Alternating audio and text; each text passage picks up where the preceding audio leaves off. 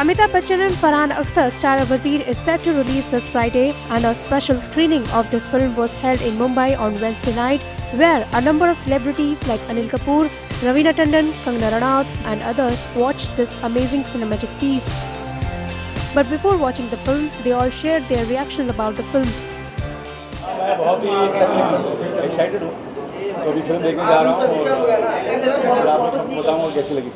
I mean, with people who've given great movies like whatever has happened in the past, uh, I think expectations are very high.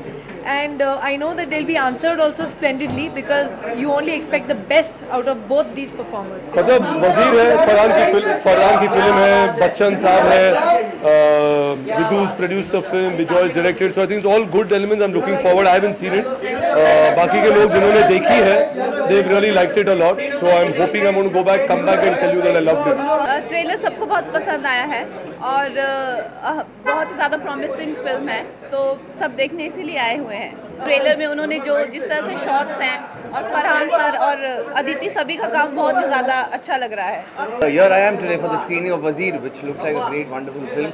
Mr. Bachchan at the helm of affairs, and uh, of course Farhan. I'm looking forward to watching this film. Apart from them, cricket legend Sachin Tendulkar also attended the special screening of Wazir and looked all happy. Wazir also features John Abraham, Neil Nitin Mukesh and Aditi Rao Hayadri.